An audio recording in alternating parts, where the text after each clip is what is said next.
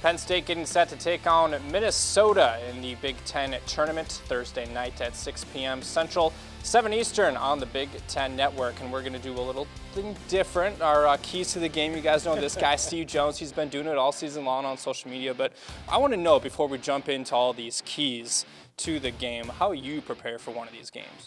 Oh, I, it's it's standard. I mean, I put together charts like these for each team along the way, where there's plenty of stats on here. I can be honest with you though, Mitch. You put all this work into it, you know, 45 minutes an hour on each team, whatever, but you probably use 1%. Literally. But the 1% changes every game. So I don't know what I'm going to use out of this, but I want to make sure it's there if I need it. For example, Josh Reaves, career high 26 points on Sunday against Illinois. Well, I've had it on this chart now for over a year that his career high was 25. But when it came time, it was there. I didn't have to change it or anything like that. Well, now, of course, I've had to change it. But that's why you do it, in case something comes up and you can just refer to it as quickly as possible. That way you get the information out there and then you move to the next thing. All right, this matchup, Penn State, Minnesota. What are, uh, based off some of your sheets here, yeah.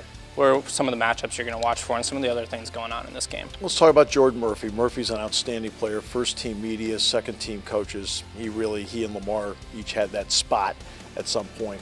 Murphy's a double double guy. 14 points, 11 boards. First half didn't play well against Penn State. Second half played terrific.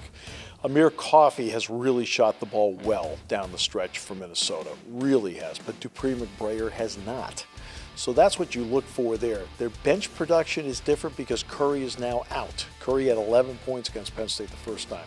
Lamar, 20 points, 8 boards a game, steady, first team All Big Ten.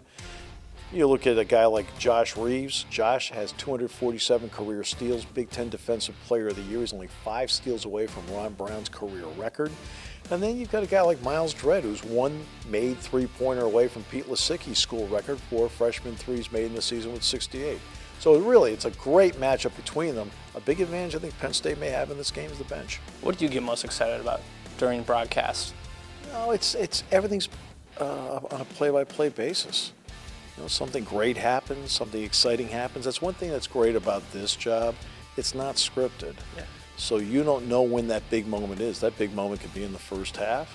It could be at the end of the game. But because it's not scripted, you go with the flow with it. You try to describe what's going on. You want to paint as many pictures as possible so that person driving down the interstate Mm-hmm. feels like they can see the game as it's being played out. That's what you want to do. You ever get nervous?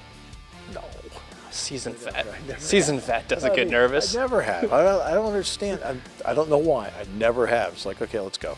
It's a good thing. Once again, Penn State will take on Minnesota tomorrow night at 7 p.m. Eastern, 6 Central local here in Chicago. And Steve, appreciate your time. Thanks for some insight, and uh, hopefully you guys enjoyed.